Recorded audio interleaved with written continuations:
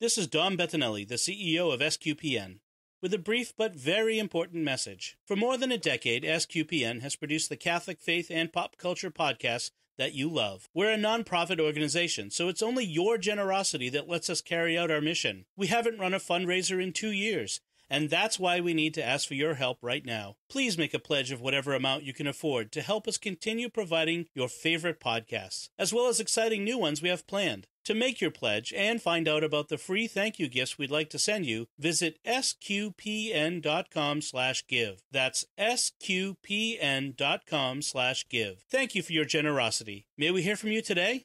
You're listening to The Secrets of Star Trek, episode number 29. Captain to bridge. Spock here. Make it so. Surrender is not an option. Attention crew of the Enterprise, this is James Kirk. We are all explorers, driven to know what's over the horizon, what's beyond our own shores. We would have helped you get home if you had asked. That's who Starfleet is. Hi, I'm Dom Bettinelli, and you're listening to The Secrets of Star Trek, where we discuss the hidden layers and deeper meanings found in all the Star Trek TV series, movies, and more. Today we're discussing the original series episode, Man Trap. Joining me today on the panel are Jimmy Akin. Hi, Jimmy. Howdy, Dom. And Father Cory Sticha. Hi, Father Cory. How's it going? As always, I just want to remind folks remember to like Secrets of Star Trek on Facebook, on the SQPN Facebook page. Find the episodes that are there, and uh, if you can like them, share them, comment on them. Uh, if you can retweet the episodes on Twitter, um, that helps us get the word out to other people. It gets the bumps it up in the algorithms and all the other sort of things that uh, we have to fight against in order to get noticed in social media. But we also really love to get your feedback as well, so that that's a, a, bo- a bonus uh, to that. If you want to subscribe to the podcast, please do so. Make sure you get every episode by subscribing in iTunes, Google Play, Stitcher, TuneIn, your favorite podcast app, or YouTube. If you subscribe on YouTube, hit the bell to get notifications and make sure you, you get notified whenever a new episode gets posted. And then just please share the podcast with your friends. Help us grow our community uh, and reach more listeners. That's why we're doing this. Uh, Jimmy, you have a, a, an important and timely message for our listeners? Right. So, uh, StarQuest has been doing a giving campaign recently. It's the first one we've done in two years. We're doing it because our funds are depleted and we need to hear from you. We made a decision a while back to uh, really embrace our charism, our calling to engage pop culture with the gospel. We created or revitalized a bunch of new podcasts, including uh, Let's Talk and Secrets of Star Trek and Jimmy Akin's Mysterious World. And we need your help if we're going to continue to produce those. Uh, we're at the end of our giving campaign now. We still have uh, a long way to go. We need to uh, build more support for the future. So if you like Secrets of Star Trek, if you like Jimmy Akin's Mysterious World, if you like Secrets of Doctor Who and all the other wonderful podcasts we have here at StarQuest, please, please, please, time is running out for this giving campaign. Go to sqpn.com slash give and become one of our regular monthly Patreon supporters. We have some wonderful thank you gifts we'd like to send you, including ones themed around Star Trek. One of them is the autobiography of James T. Kirk, and uh, we're actually going to be doing a future episode of this podcast just on that book. So get your copy now by supporting StarQuest, and you'll be all up to speed uh, for when we do that episode, and you'll get so much more out of it, as well as getting more out of Star Trek in general. So please uh, do help us out. We we are serious about the fact that we need your support if we're going to continue to produce these podcasts. In fact, one of the podcasts that we recently began, StarQuest Headlines, which was a daily podcast we were doing, we had to downgrade it uh, we had to downgrade it to a weekly status, and its future at this point is uncertain, as is the future of all our podcasts, unless we hear from you. So, uh, this is, you know, the uh, we're in the Christmas season now, broadly speaking, and it's a time when people are being generous. They're making their tax preparations for next year, so they're doing extra charitable giving right now as a way of uh, obtaining additional deductions next year. So please, by all means, go to sqpn.com slash give and uh, please give generously right now. Please do it while you're thinking about it before you forget. Yep. Should point out that we are a 501c3 organization and that your uh, donations are tax deductible, uh, but consult your tax professional to be sure. Uh, don't take tax advice from me. That would be a bad idea. So, the let's talk about this episode. This is uh, Man Trap. It's the first episode of Star Trek. Uh, the Man Trap. I'm sorry, the Man Trap. That's right. It's actually important uh, article to add on there. So I, I should uh, make sure I modify that in my notes so I don't forget. But The Man Trap was the first episode of Star Trek ever aired. Uh, so mm-hmm. there were two pilots made. Uh, as we know, we've already discussed The Cage and uh, Where No Man Has Gone Before. But the first episode of Star Trek ever to appear before a mass audience was The Man Trap. This one. And that's significant. It's something to think about um, yeah, this was people's the public's first exposure to the show. Right, mm-hmm. and and to you know kind of spoil my my uh, conclusion, I think it was a good one. I think it was a good exposure. This is a, this mm-hmm. as I watched it, you know, with a critical eye. this is this is this has a, pretty much everything I like about Star Trek in it. Every all the characters are fully realized, pretty much, um, and it's it's got all of the the elements that I always enjoyed. Um, so mm-hmm to kind of follow up from okay go ahead jimmy you're going to add well i was i was going to say let's let's start by talking about the title because yes. this is a term we've got a lot of younger listeners and even in when i was growing up uh, watching star trek in the 70s man trap was kind of an old fashioned term and so mm. i would imagine there are a lot of people today who are not familiar with it um, it can mean a number of different things today it's generally understood to mean human trap just something that traps people but that is not what it meant back in the day. It meant a woman who is on the make, the female equivalent of a Lothario, right. someone who, uh, some woman who is out to seduce a man and possibly also marry him, um, hmm. but at least seduction. And um, and this word has an interesting history. One of the things that uh, one of the uses that I'm aware of, a famous historical one, is it's actually in the play Our American Cousin, which is the play that uh, Abraham Lincoln was watching when he was assassinated by John hmm. Wilkes Booth. And Booth, being an actor, knew the play and knew where the funny lines were. So there would where there would be lots of laughter.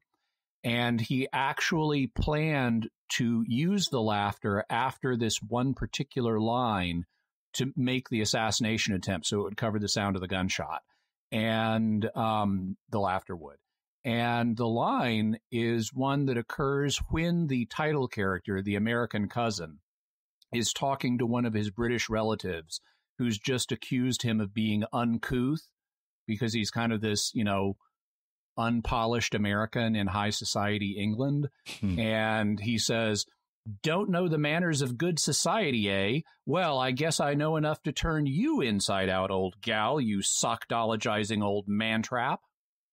and mm. that was considered one of the funniest lines of the play, and it got a huge applause, and subsequently it's gone down in history for that reason. Oh, that that's portentous given this uh, episode, you know, is titled The Man Trap yeah.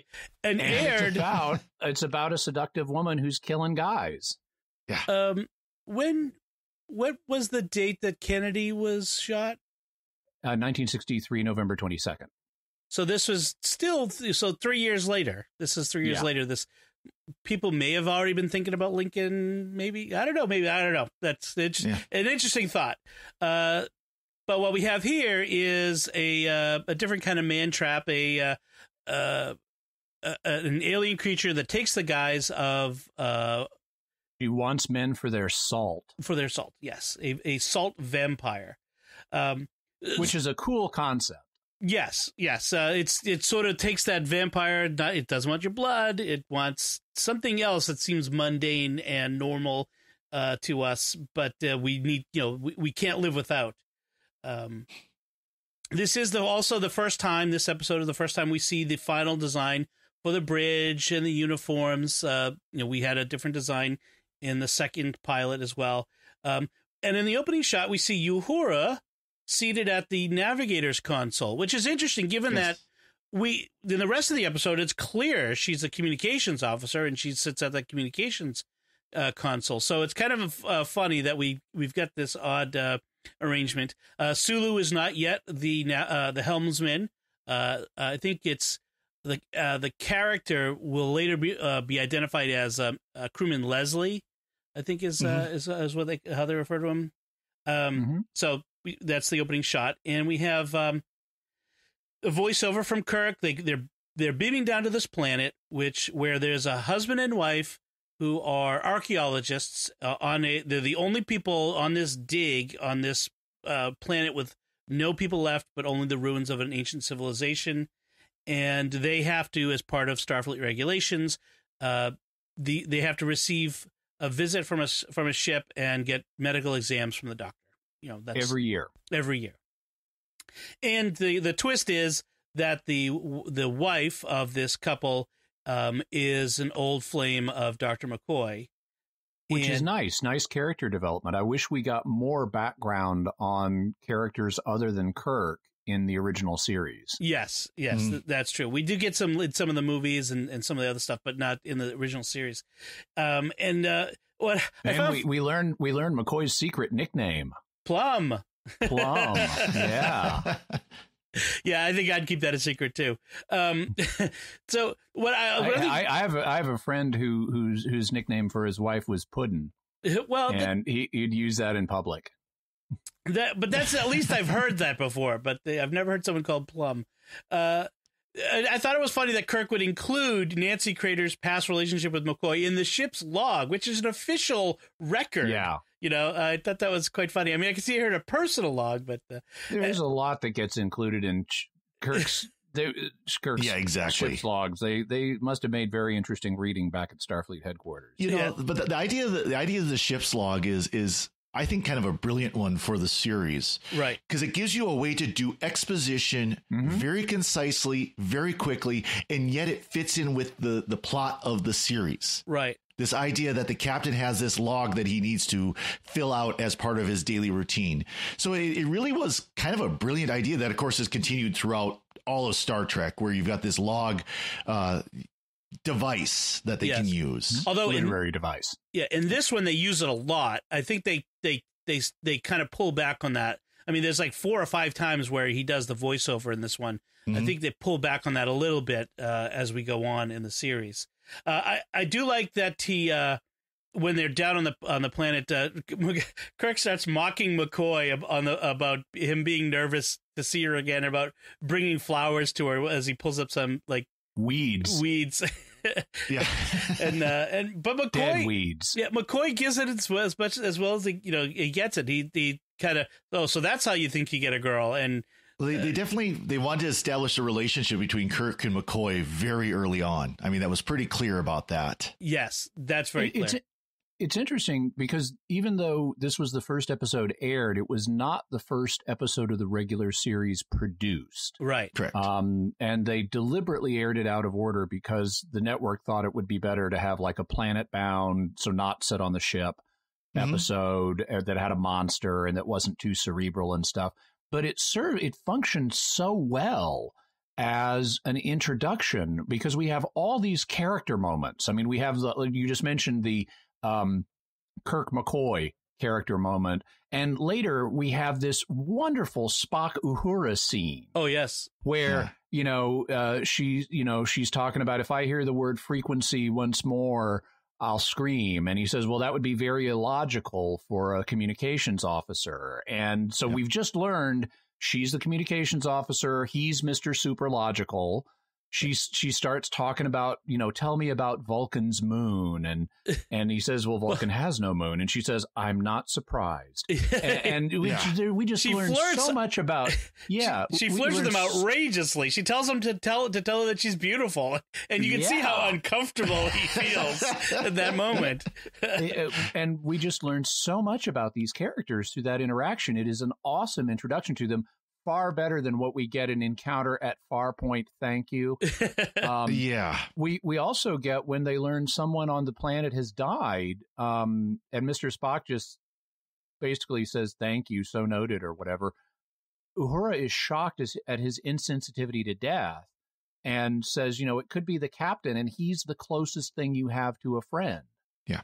And it just we just have their the basic forecast relationships laid out for us right there in this Right. intro- in this story that wasn't even meant to be an introduction. Right. In fact, it was the sixth episode produced of the of the of the original series. Uh, so, uh, what I find interesting is is that this this repartee, this flirting with between Uhura, well, Uhura flirting with Spock. I'm not sure there's much going in the other direction. Um, was almost was sort of the basis. She's not so much flirting with him as flirting at him. You're right, right.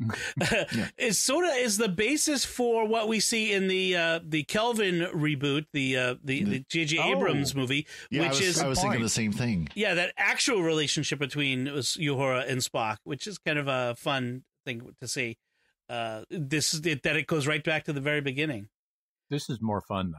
Yes, Yeah. yes. Well, you know, you can't beat. I, I Michelle do like those Spock as as she's flirting with him. He actually does the collar, you know, he's kind of adjusting his collar as she's talking. you Is know? it warm in here, or is it just me? Yeah, exactly. Uh, so back back on the uh, planet, uh, they they Kirk and uh, McCoy and uh, Ensign Dead is a, or crewman dead.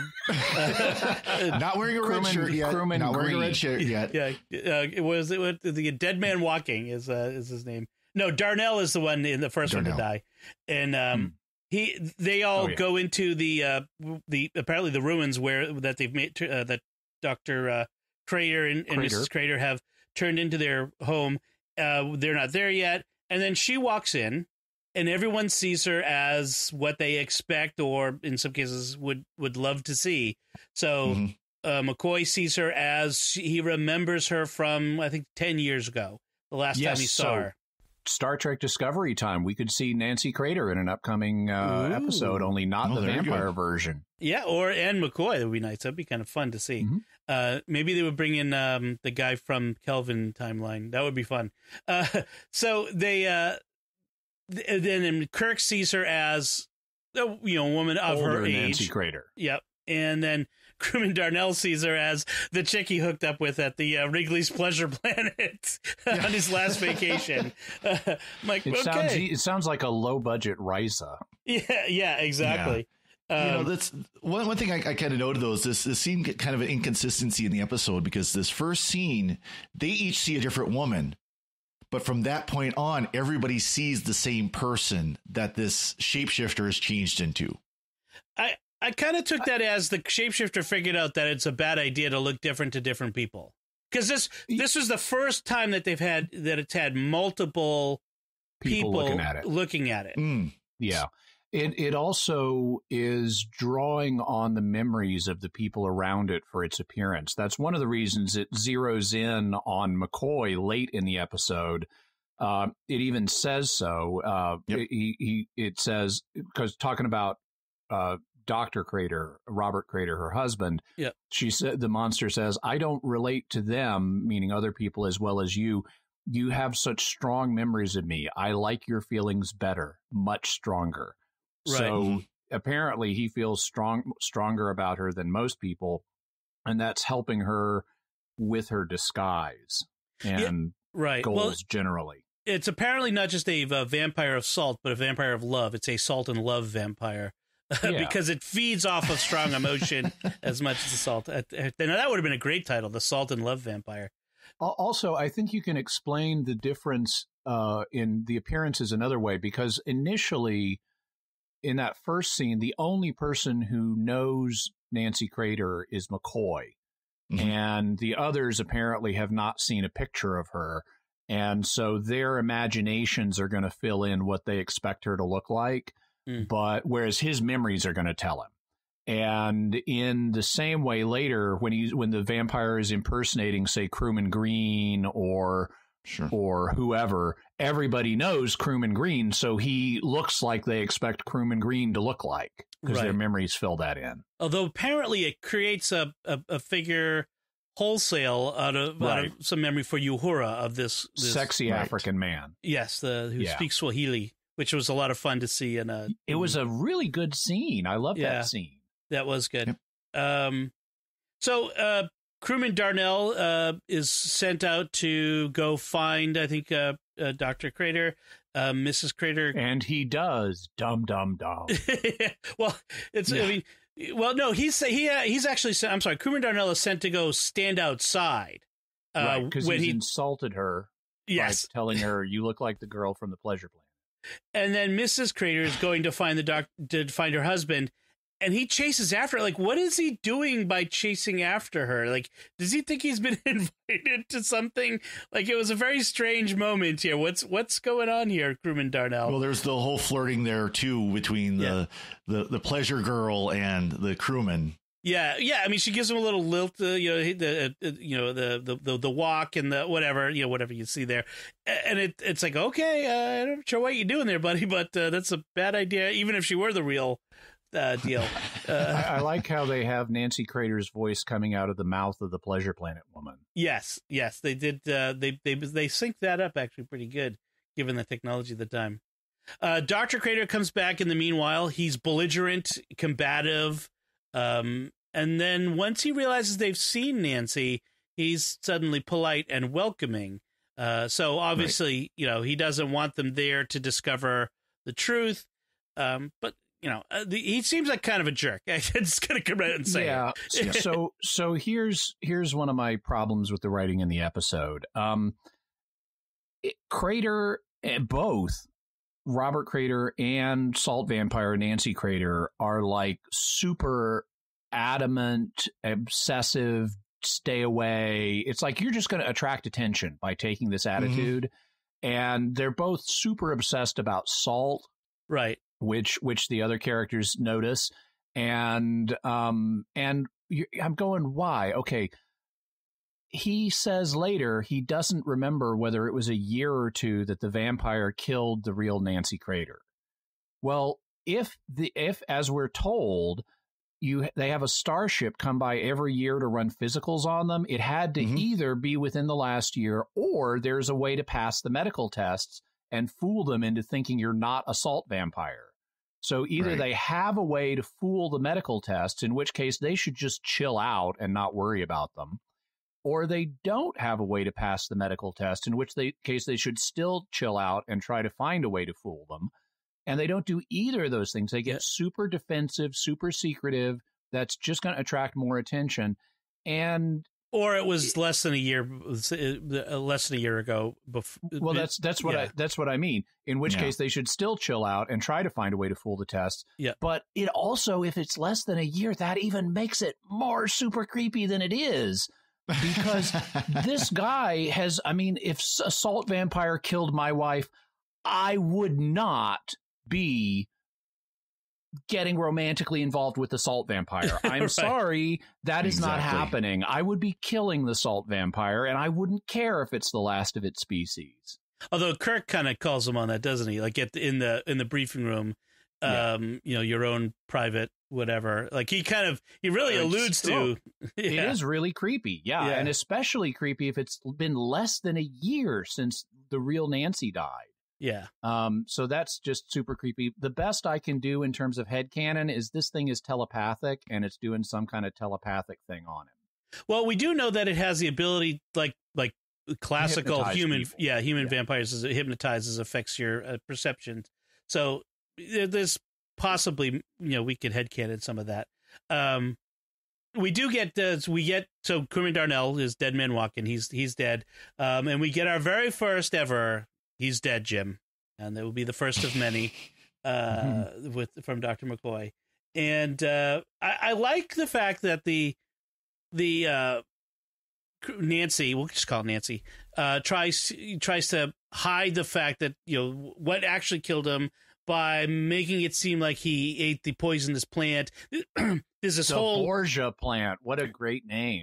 Exactly. Yeah, For, exactly. for people who may not know, the Borgias were a famous Italian political family who were up to no good in the like the 15 including some of the uh, worst uh, popes. popes. Yeah, Yep. some of the evil popes. Uh, yes. Uh, so um, they they they need to find out what happened to him, what really happened. And uh, when they get, they take him back up to the ship. They, we have this moment where Uhura is mad at uh, Spock, and then we get this great scene in the in sick bay, uh, which they call the dispensary at first, but eventually we Dispensary, get the, yep. the proper name sick bay uh, later on in, in the uh, series, um, where Kirk is ticked at McCoy. He gets mad because because McCoy is still like mooning about Nancy and oh yeah, um, and and he's like I'm not interested in playing the funny you know uh, game of you know making fun of you for your old flame showing up anymore because I lost a crewman and I'm mad Right. about it. Um, Yeah. but the, well, well, I say, but then they resolve it quickly. Like there it doesn't drag out. They Mhm. McCoy apologizes. Kirk kind of accepts the apology and apologizes too. There's a lack of this of ongoing drama, just turning this into a dramatic thing. I like that. It was really Right. good. hmm I liked the freaky skin modeling all over uh, the crewman's face. Yes, It's like, Right. wow, very simple. Like they used lipstick or something on his face, and it totally looked like he had been salt kissed to death. Yeah, something Yeah. was going on. yeah. I, I mean, the, it, it would have been interesting if they'd found like salt deposits or you know something on the edges. But this is this is where the science gets wonky because we've got like um we we have like 60 we've got 300 an ordinary 160 pound person has 300 grams of salt in his in his body. So that's like one and a half cups of salt. And um and it's scattered all throughout our body. Right. there's no way you could suck it out through somebody's face. That makes Yeah. no sense. Yeah, um but uh but it's still cool to, to look at and imagine. Yeah, exactly. Uh, yes, and they, they apparently so the the idea is that it's a very hot, very dry planet that where you have to you know regularly um replenish your salt that you've sweated out. Right. Well, you're gonna, yeah, you're gonna, you're gonna drink water because this is before Gatorade. This is before a lot of the, you know, the, Yeah. the sports drinks we have now. So, I mean, that was normal procedure. You would drink water, but you need to replenish salt. Yeah, Of And- course, and you- salt salt tablets are a real thing. They would they would have industrial workers, you know, take them and stuff for just this purpose. And Mhm. I I had an experience sort of like this once. I went to World Youth Day in 1993, and Mm. I had to I had to work outdoors all day handing out booklets, and I drank like two gallons of water that day. It was so hot. I mean, it was. It, I'm not exaggerating. Mhm. It was two gallons, and I did not have to go to the bathroom once. That's Yeah. how much I was Yes. just sweating all day. So you really do need to replenish these things. But of course, uh, we know now that uh, we need to replenish more than just the sodium chloride, but all kinds of Yeah. bodily. Uh, and, and that is and that is why the sports drinks exist now because Right. you know you you can actually uh, drink all the water you need and still have real serious medical issues if you Right. lose your other electrolytes and all that other kind of stuff. So, Potassium and calcium and so forth. exactly. Now, so here's the thing: this planet is uh, used to have loads and loads of salt vampires living on it. Uh, What were they living on? what were they living on? Yeah, presumably not each other. Um, they must have had other things that they would eat the salt from. But, but wait, there's no salt on this planet? Come on. When the salt vampires all died, their bodies would have decomposed. The salt would have gone back into the ecosystem. There should be tons of salt on this planet. You don't need to be importing it. Well, maybe the Well, creature's yeah. been living on it. Well, but yeah, but there should be an if you're the last one, there should be an endless supply of salt all just for you. maybe there's a particular kind of salt they need, and once they consume it, it can't be It can't be recycled. I Well, mean, Maybe it's you know, breaking down 'cause the salt into could- sodium and chloride. well, maybe, Yeah. but but how how does this ecosystem work? You know, how would a creature evolve to need sodium chloride if the ecosystem wasn't combining them? Right. I think did they make a reference to them like destroying their planet, like the little uh, you know ecologically destroying their planet? I don't know if they did. I don't don't think so. I I, don't- think it was no, just it's they just- used they used to be like the buffalo, and now there's this one. yeah, I mean, but the something killed the buffalo, like some external force. That's Yeah, uh, that's the difference, right? Exactly. Yeah. And and maybe that maybe there there was a combination of of war or you know some kind of weapon that neutralized the salt. I don't know. the salt Also, neutralizer. just how much salt this thing needs. I mean, it kills, contrary to its own interests, it Yeah. kills three crew people down on the planet. It's constantly getting twitchy in the presence of salt. It can barely restrain itself from grabbing the salt shaker and sucking it dry. Um, it kills another crewman on the ship. It kills Crater himself. Yep. It tries to kill Kirk, and it, it it's just super salt obsessed. How much salt? If So if this thing needed this much salt, it would have gone through that 25 pounds they had in about a week. Right. Right. Exactly. I mean, there was that's like six times three hundred grams. That's I mean, that's quite that's a lot of salt. Yeah. It's a lot of salt. I, the only thing I can headcanon is maybe it has this feast or famine biological cycle where it's Hmm. like kind of like a bear getting ready to hibernate. It's got to stock up and then it doesn't Right. need to for a long time. I mean, if it's still been living on this planet since the the civilization collapsed as the last one, maybe maybe that's what it does. Yeah, it absorbs as much as it can in the presence of it, and then can go without it for a long period of time when there's not any. Maybe. Um.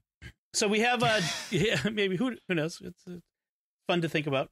Uh, we have Janice Rand delivering lunch to Sulu, uh, the y- yeoman who gets hostile work environment from these Oh, crewmen in the corridor Oh boy. those guys should have got slapped with a lawsuit or demotion or something. And Rand is the one character who's not well introduced in this episode because the Yeah. crewmen say, How would you like to have her for your own personal yeoman? And then we, the only thing we see her do is deliver lunch to Sulu. And Mhm. to my mind, delivering lunch is not part of a yeoman's duties, as far as I'm aware, although I could be wrong about that.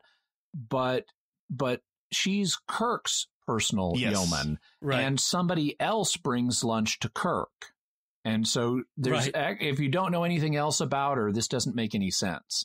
I, I did notice there's a whole lot of um, eating, drinking, normal, like everyday activity going on. Uh, Right. Yeah, that that's they, good. They try to show, which, Oh, uh, yeah. Although food food in the 23rd third century on starships looks Yeah. really unappetizing. yeah, Oh, I like the red celery. I mean, it's clear. that was about the only part that looked, you know, somewhat appetizing. The little square, crunchy cubes that they were popping in like popcorn really I did not look that that was- interesting. I, I thought that was like cantaloupe and stuff. Yeah. Uh, it's like a celery in a Yeah. fruit plate. Yeah, Yeah, well, yeah, no, I think well, in the mid '60s was a, was during the time when the idea of science would engineer better food for us was all the Yeah. rage, and the Freeze idea dried that foods were starting to become available and things like that. So, right, yeah. healthy food was processed food. I mean, really, that was the thinking. Yeah. Uh, we've since come around from that. Swanson's TV dinner. Okay, small tangent. The red celery. Red. I listened to a podcast all about celery recently from America's Test, Test Kitchen. Really, Mhm. you, you wouldn't be you'd be surprised. In fact, celery used to come in all kinds of colors and shapes. Uh, Mhm. Spiral celery, and it was considered high class food. At one point, at the beginning of the 20th century, it was more expensive than um, fish eggs, uh, caviar. Oh, mhm. So, cool. Well, that's You- funny. you- okay, so another parallel development like that. yes, Aluminum Uh-huh. originally was extremely rare because it combines so well with other elements. You almost never find elemental aluminum. Mm. And so it was it was super expensive. It was more expensive than gold and platinum. wow. And so rich people would have their aluminum spoons and forks and knives for the really special occasions. They leave the gold stuff in the cupboard. That's awesome. Uh, okay, so uh, b- b- back from the tangent, we could we could I think uh, Jimmy can out tangent me uh, on on stuff. So Sulu is still working in the botany lab at this point. Uh, Sulu is not yet helmsman, or or maybe he's off duty and this is his hobby. Um, Really nice botany lab. I wish we got to Yeah. see more of this. yeah, we never did. In fact, uh, uh, and I gotta say, I kind of like the uh, practical effect of Beauregard, the plant. Yeah. The- the Which guy- is so- how'd you like to be the crewman though that had to be underneath the table with, yeah, with the hand, puppet. doing the hand? that I- was a lot I of know. fun. Hey, Beauregard is so much fun. It looks totally cheesy, but it looks okay for the time and the budget. And I, I, I had fun with Beauregard. I think that's It- that's cool. There's a very funny line where uh, Sulu says to uh, uh, Rand, Janice Rand, um, in, and thanks for bringing him lunch. May the great bird of the galaxy bless your planet. Uh, well, Star Trek fans know that that was actually a, a nickname for Gene Roddenberry was the great bird of the galaxy. Uh, I- Right. I, I haven't seen where, exa- where exactly it came from, but I, I think this may be the origin of it. Oh, I think okay. that this, my guess is this line came first, and then it got applied to Gene Roddenberry. okay, okay. Uh, and then it enters there, there are other really weird lines in here, some of which are not very effective. Even though the food eating and stuff that and getting lunch arrangements done and that's all very normal. But then we have the 1960s cheesy space dialogue like, "Why don't you go chase an asteroid?" And suppo- I like that. I he's- kind of laughed and- about that one. And, and suppose he's going space happy or something. it's the future. You everyone's in space. You don't have like it's that old classic. Uh, you don't have to make everything space language because just because Well, you're in space. I admittedly I like the asteroid one because it, that that kind of implies go jump out an airlock and chase an asteroid. or go jump in a lake. Right, yeah. right, right, right. Um, uh, later on, is I mean, there's lots of chasing around through quarters. Uh, the the, the salt vampire has got on But by, board. by the way, notice the datedness even of go jump in a lake. yeah, I know Yeah. to me and Dom and probably Father Cory, it sounds fairly normal, but it also sounds like something from our childhoods. We Mhm. would not say that today. that's true. Yeah, uh, slang and jargon does uh, age very quickly. I, s- I Um, still yeah. use the take a long long walk off a short pier. I do Oh. still use that one. An, another classic. Today, today people would just go straight for the F word. Right. Yeah. I know, right. It's a less subtle time. Uh, so uh, there's lots of so there's uh, lots of chasing the vampire around on the ship and it trying to um to, to unsuccessfully attack people. Uh, it gets one guy in in the uh, engineering suit, um, but otherwise it tries to get Uhura does is not uh, uh, uh, successful. Um, we get to uh, the Crater is still on the planet, and they're still trying to scan the planet looking for Nancy Crater. Uh, I, I like the fact that when Kirk is trying to get McCoy to sober up, metaphorically speaking, he tells him we need to go back up to the ship where we have equipment that could pinpoint a match on the surface of this planet. And Right. That's that's actually you know quite believable for I mean given the resolution orbital sensors have now, that's quite Yes. believable. yeah, yeah. exactly. uh, although he tells Spock to break up the scanning equipment because it's not just part of the, the as, as if you have to uh, you know take out Yeah. some equipment and set it up. Um, th- there was a moment where uh, they they captured uh, Doctor Crater. Uh, this really neat maneuver where Kirk and Spock sort of outmaneuver uh, Crater. Uh, you know, Sp- And Mhm. outflanking. kind of flank him a little bit. Yeah, and then uh, Kirk stuns him with this very weird stun effect. We never see it again. Um, This has this weird sound and this effect where it like and he talks slow and drunk for a moment before he snaps out of it. exactly. Yeah. yeah. It's, the voice slows down. A very a very odd effect. I'm glad they got uh, rid of that.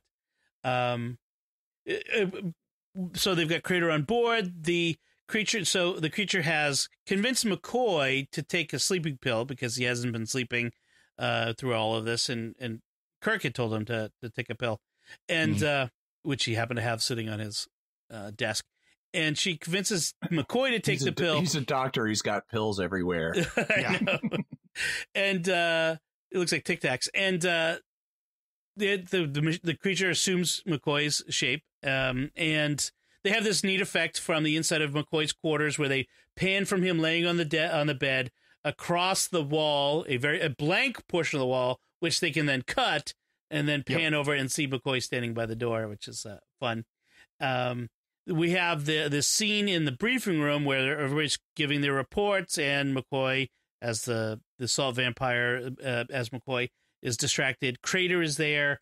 Crater recognizes her. He he's, Yeah. he for somehow he knows. I you know who knows. And, and Kirk figures out that Yeah. he can recognize the vampire no matter what form it's in.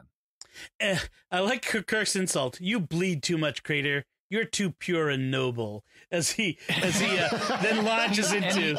He's, it's like, he- is he serious? And then he seems to indicate, no, that was all just sarcasm. Yes, yes. Yes. Uh, as he gets, you've created your own private heaven, uh, and so he tells McCoy to break out the truth serum, uh, which again in the '60s was a thing that uh, was sort of a Yeah. s- semi-futuristic. Uh, Today, we just go straight to the MRIs. right. yeah, exactly. Uh, sodium pentothal is sort of a thing now, but not really all that effective. Not not for truth purposes. Exactly.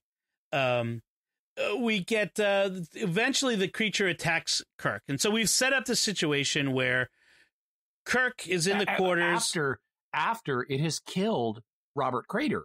right, right. So this Yep. thing totally turns on Crater, and it's ambiguous, or it seemed to me it was ambiguous. Is it because it's so starving, or has it realized that Crater's a threat to it now, and so it calculatingly kills him to eliminate the threat? I felt like it was like Crater now was it knows it can since Crater can identify him. Uh, Crater's a threat. McCoy is the better option because she says you've got stronger emotions, you're a better deal. Right. Right.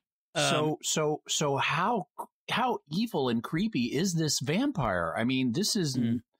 this is a really manipulative thing that has no loyalty to this guy that's been taking care of it. Well, this is the point of survival. long. This is point of survival of the fittest, and it's going to be the one that survives. Right. I mean, that's the whole thing is creepy. You, the him being Yeah. creepy with her, she's being creepy with him. Um, I, I love the bit where Kirk is like baiting it with the salt shaker, and it can, yeah. Leonard make him stop. It's it's so ridiculous. And and then when when it started to suck the salt out of Kirk, and Spock rushes in, and he's like. Good Nancy, take this, and he's smacking her around, and she's just standing there like all this Vulcan strength is nothing to her, and it looks Big, so big ridiculous. grin on her It- face. yeah. Yeah. And she Someone throws him across the room. Someone needs to do a supercut of just that for like an hour or something. Oh well, yeah. We need a we need a gif of uh, of uh, of Spock just whacking her back and forth uh, like that. Um, uh, also, Kirk screams when she's sucking the salt out of him. Presumably, no one else did because if they Mhm. had, they would have been We would have discovered. Uh, so uh, so McCoy, uh, you know, it wrestles had wrestled with Kirk and ended up with the phaser's hand. So so McCoy obviously has to be the one who has to make the decision to shoot her and kill her. Uh, and and it- he does. and he does. Well, I mean, certainly once you see her true form, uh, which is kind of creepy. Ga- uh, when I was a kid and saw this, yeah, that one that one stuck with me. I, I, thought it, I thought it was a good alien. You know, Oh, yeah. I mean, it's Oh, yeah. the practical costume effects from the '60s, so it's not you know super Yeah. great. But it uh, for the time, I thought it was quite good. oh yeah, when I was a kid, I thought it was pretty good.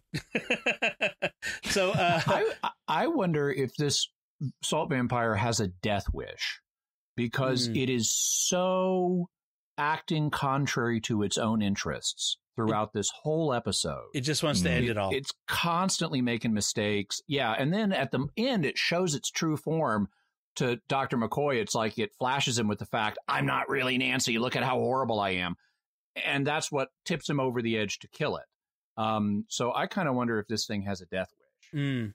And I, I, interesting, uh, you know, I like McCoy right before he shoots says, "Lord, forgive me," uh, as he Mhm. shoots. I mean, this is a time when you know uh, when people Yeah. would still ha- uh, voice uh, religious sentiment. You know, back in the '60s, uh, would still be part of who they are uh, On in, television. In, in television, and so he he seeks forgiveness for what he's about to do because he's conflicted, um, because Mhm. he's confused. I think is part of it. Um, and then when we get to the end, uh, Kirk is on on you know in his in the center seat. They're ready to go. The helmsman, you know, hey, Captain, we're ready to go to, to leave orbit. Um, and Kirk is distracted, and uh, Spock says, "You know, Captain, we're ready." And says, uh, "I was I was just thinking about the buffalo." He says to him, you know, recalling that conversation. Mhm. Um, and I like this because it's, there's no long rambling diatribe about extinction or the grand meaning of it all, or some Voyager esque moment where they're all standing around consoles chatting about their you know their superior solution to whatever. It's just sort of the audience is expected to take the take Yeah. the lesson from this that they get. And notice, even though this is the first episode broadcast, we have a sad ending. Yeah, We don't Mhm. have the typical thing of, you know, the threesome having enjoying a laugh to the clarinet of humor at Right. the end of Right. the episode. yes, this is true. The clarinet of humor. That's a good. That's a good way of putting it. I, I can hear that now. Um, so, uh, any? Do you guys have any other notes on this? Those are my notes. Uh, Jimmy, do you have anything more you want to say about it? Just two little short things. I thought Crewman Green was very effective once the salt vampire replaced him. He was Mhm. really creepy. Um, And I also uh, liked after Spock got assaulted the first time, um, we get to see that he's got this green bruising right. and stuff Right. and he says my ancestors respond in a very in a different ocean so my blood is very different from yours. And so we're starting to get some of the alienness of spock that makes him you know uh, have this green blood and stuff like that and that's that's cool Uh, also makes it totally implausible his dad could breed with a human but it's cool Another story. Yeah. uh, Father Cory, do you have anything more? Uh, Uh, just a couple small things as well. Um, first of all, you know, they, they like to reuse props. Uh, Crater's weapon was from the cage, was the, the phasers they used in the cage. that's right. So they like to reuse, and I think that's the second time we've seen it. I think they they showed those again where No Man Has Gone before. I think Yep. they showed up in there as well. And then um, just I just kind of laughed where you know there's Sulu and Rand finds the dead crewman, and Sulu immediately runs over and touches the spots as if he couldn't be con- possibly contagious with something that Sulu now has because he just touched the spots Uh, where yeah, he's that could- contagious. that could be as deadly as touching a pating for all he knows exactly. Oh, there's an old reference from a few months back. Uh, Yeah. So, uh, so he, he- maybe he's trying to see if it rubs off. Um, so what, one of the other things I didn't I didn't mention was uh, this this moment where they get this call from the starbase on Corinth Four from uh, base commander Jose Dominguez, who desperately needs his chili peppers. And Yeah. Kirk says they're prime Mexican reds. I handpicked them myself, and you won't die if you go for more day, few more days without them. I'm like, wow, that's just it's just a, a, a something from its time. Just, just put it that way. what, what I what I want to know is is this Starbase uh, first Corinth four or Starbase second Corinth four? Oh. So, well, we've read a letter to them, and we'll we'll know. Uh, Find so- out. Yeah. We'll find out. So, uh, all right. So that's the man trap. Uh, we have a little bit of feedback from previous episodes on, uh, or we have one one piece of feedback this week uh, f- from our episode on where no man has gone before. Uh, uh, Alfredo Barundas uh, tells us on Facebook uh, something you may have said and I missed. No, uh, we we did not say this, but uh, thanks for catching it. The actor playing Lieutenant Mitchell, Gary Lockwood, also played Dr. Poole in 2001: A Space Odyssey. A, Hmm, not hmm, he's yep. not very lucky in space. I'm Apparently sorry, not. Dave. Uh, you're dead again. so, uh, thank you, Alfredo. That was a, that was a good catch on that one. So uh, that's it from us. Uh, what did you think of the Man Trap? Uh, do you, was this an episode you enjoyed? What do you think of what we had to say about it? Let us know by going to sqpn.com slash trek. Find this week's episode and leave a comment there, or go to the SQPN Facebook page and leave us a comment on the episode there. Uh, you can send an email to trek at sqpn.com. You can find links relevant to our discussion on our show notes on sqpn.com. Um, and remember, our giving campaign is coming to a close. We need your help now. Uh, this is a very urgent call. So if you Yeah. can go to go to sqpn.com slash give and become uh, a patron and help us continue our mission, uh, five year mission to bring you these great uh, shows that you're enjoying and that are reaching a lot of folks. So help us continue that by going to sqpn.com slash give. Until next time, Father Cory Sticha, thank you for joining me and sharing the secrets of Star Trek. Yeah, glad to be here, and thank you, Dom. Uh, Jimmy Akin, thank you as well. Live long and prosper. And once again, I'm Dom Bettinelli. Thank you for listening to the Secrets of Star Trek on StarQuest. And remember, I don't like mysteries. They give me a bellyache, and I got a beauty right now.